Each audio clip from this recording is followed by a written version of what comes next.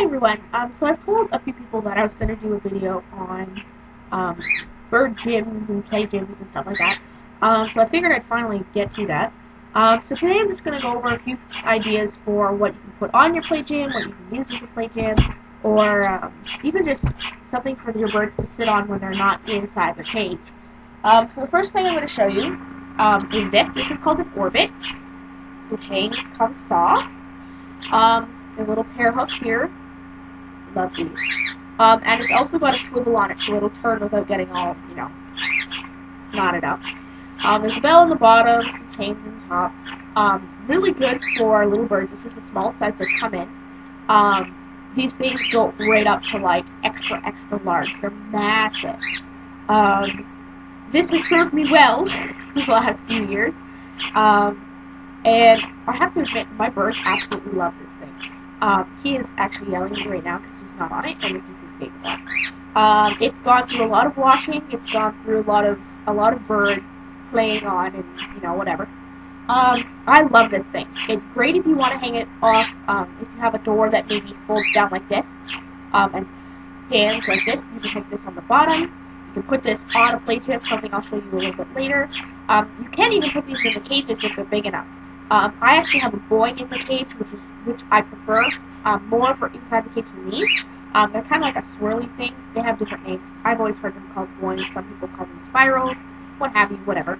Um, these are braided um, very, very tightly, and um, actually the, the string that they use is, um, is a cotton. I think this one is superior cotton, the one that they use.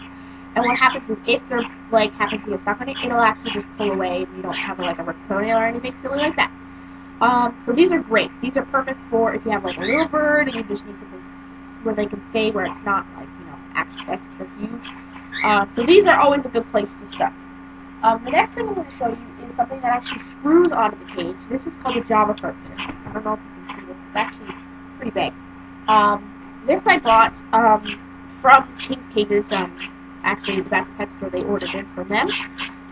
It's got a hanger bolt and a wing nut and the the uh, washer, everything that you need if you want to make sure your perch does not fall off. And these are excellent. This one doesn't have anything screwed onto it, but you can actually screw things into it. And I think you might be able to buy perches like this with screws already put into it. Um, for toys or for food dishes, um, what have you. So you can screw this onto the side, you can screw it onto the top, you can screw it pretty much anywhere. Um, I actually made a base for mine so that I can sit it on the table so that if I have a bird I can just throw them on there, which is a lot easier than bringing them to the bathroom. Um, this is not the small size they come in, this is the small size, but there's also an extra small for like bitches and buddies and what have you. Um, I'm actually planning on getting one of these, sorry I keep putting a stick in my face, um, for Goonie. Um, hopefully something that I can put on a base so that when we're out, say in the living room or outside, he can you know, not be sitting on me because he's one of those birds that can't just sit there. He's got to play with my hair and my earrings and my glasses and my shirt and everything that he can get a hold of. So um, this is also an option. These are great, like I said, screw on the sides of the cage, on the top, um, and give your bird somewhere to go that's not just on the cage. Goonie thinks this is quite fun. Okay, so um, the next one that I'm going to show you is kind of more what I think of a, when I think of a gym. This is what comes to mind. Um, I bought this one, but I also made another one. Um, all you need to do is go to the hardware store, get some dowelling, uh, you know, throw it all together. You can make different kinds like this. I've seen people use just about anything. This is this is a good way to start. Now this oh, is what I have. Um, of course, you're not going to be able to see all of it until I back up way over here. Now, of course, the toys didn't come with it, but there are hooks on the top for toys there's a big hook in, in the middle to hang something. This is where I usually keep the orbit. This one is my homemade one. Um, this is why I don't leave this one in the case. It's got a lot of frames to it. Be careful with those. Um, it's also got a ladder on the side so they can climb up. Lots of different levels, lots of spaces where they can play with. This one here, er, back down on the floor, was meant to be on the top of the cage.